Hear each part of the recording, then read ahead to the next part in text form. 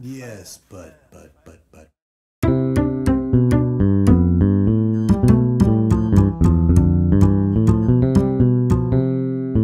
But, but, uh, but.